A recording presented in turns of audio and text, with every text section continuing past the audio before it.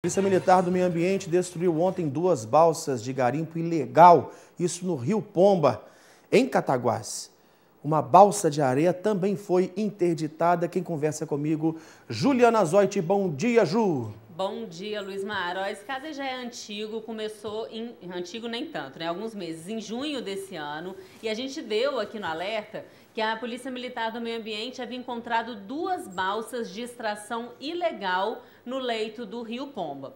Uma balsa de areia e a outra de ouro, com ouro. Na data, inclusive, o proprietário e dois garimpeiros foram presos em flagrante. Aí, ontem, terça-feira, a polícia foi até o local junto com agentes do Ibama para destruir essas balsas que estavam interditadas desde junho.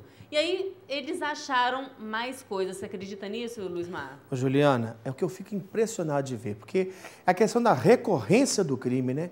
Pois Não é. apenas uma investigação, você vai ver, continua.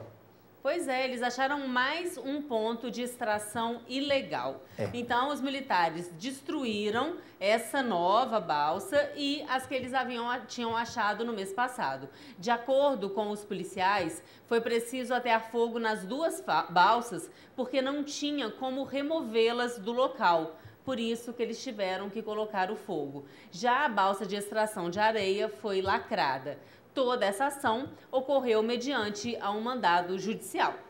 Juliana, tem toda a questão também da, da preservação do meio ambiente, né? a preocupação com a preservação mesmo dos leitos do rio, dos materiais do meio ambiente.